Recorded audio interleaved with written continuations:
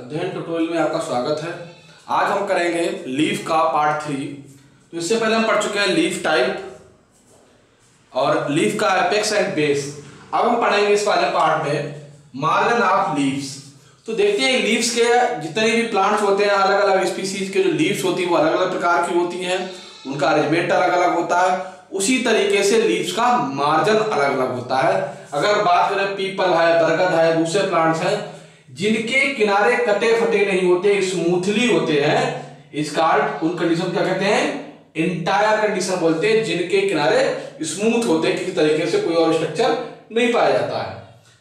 अगर लीव के मार्जन डेंटेट है, दांत जैसा स्ट्रक्चर बनता है, इस कंडीशन को कहते हैं डेंटेट जिसमें बड़े बड़े उबार अगर यही जो डेंटेट डेंट लाइक स्ट्रक्चर है अगर इसमें छोटे छोटे हो बाहर, बहुत सारे छोटे छोटे हो जाए, इसमें देखते हैं कि लोग जो हमारे बड़े बड़े डीप हो रहे हैं, इसमें क्या है कि जो डीपनेस है वो छोटी छोटी जगह है छोटे छोटे बाहर है तो इस कंडीशन को कहते हैं डेंटिकुलेट और ये उभार स्पाइनी नुकीले ना होकर राउंडेड इसमें लोस बन रहे हो, इसका क्रिनेट कंडीशन कहलाती है। और जब इसमें उभार छोटे छोटे हो जाते हैं क्रिनुलेट कंडीशन कहलाती है। जब इसमें उभार दो तरीके के बन रहे हैं, उस तरीके से जो नौच बन रही है इसमें, जो लो बन रहे हैं, डीप हो रहे हैं, उभार बन रहे हैं, इस तरीके से रिजिड बन रहे हैं तो इसको कहते हैं बाई क्रिनेट दो प्रकार के बड़ा है, फिर उसके बाद छोटे छोटे हैं। उसके बाद स्पाइनी कंडीशन हो स्पाइन ऊपर की तरफ़ नुकीली मार्जन हो, इसका सीरियट कंडीशन कहलाती है इस तरीके की मार्जन की।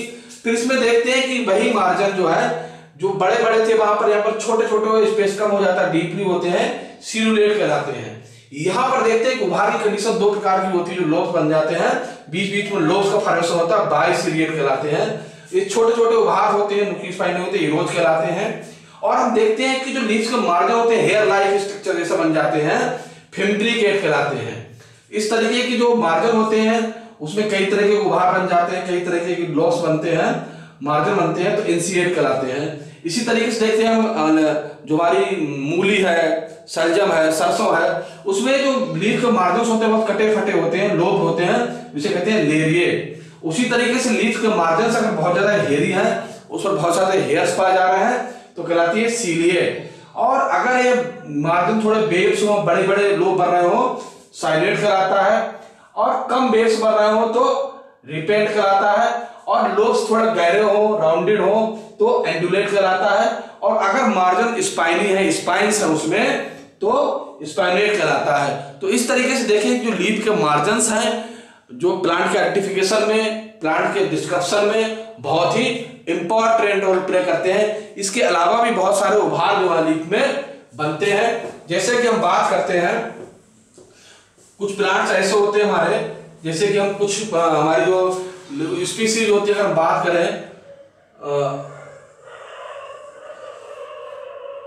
दूसरे प्लांट्स की कुछ इस तरीके से हमें लोग मिलेंगे, इसमें नॉट लो बन रहे हैं। इस तरीके से अगर हम बात करें कि किस तरीके से जो हमारा प्लांट्स होते हैं कोकरबेट्स उसमें इस तरीके के लोब्स पाए जाते हैं।